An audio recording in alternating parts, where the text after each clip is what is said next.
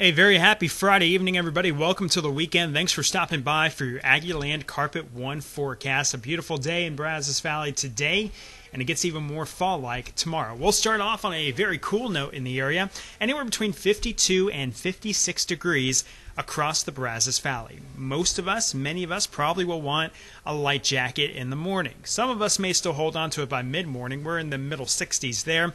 Then we start warming up a little bit more, light north to northeast winds 5 to 10, plenty of sunshine, some high clouds on hand, and temperatures once again in the low 80s for most of the area, most of us either 82 or 83 degrees. If you have Saturday evening plans, maybe they take you over to Kyle Field for the Mississippi State game. Kickoff at 6:30, temperatures in the mid 70s there. As we wrap things up, very mild, very comfortable mid 60s around the 10 to 11 o'clock hour. Sunday's looking pretty good too. Mostly sunny skies, 50s to 80s once again. But notice next week those overnight lows warm a little bit more to mild conditions, and daytime highs are back up around 90 degrees. We're adding in the moisture, adding in the humidity, adding in cloud cover, but that may mean some good news for needed acti- or needed things, which is beneficial rainfall. About a 40% chance for rain right now for you Friday. That, of course, could change as we go through the week. Something we're monitoring, though, because next Friday, Friday night football games, they could be in jeopardy if that rain chance looks to hold on. Something we'll monitor over the weekend, of course. Latest details are found at kbtx.com. Until then, get outside. It's a beautiful weekend,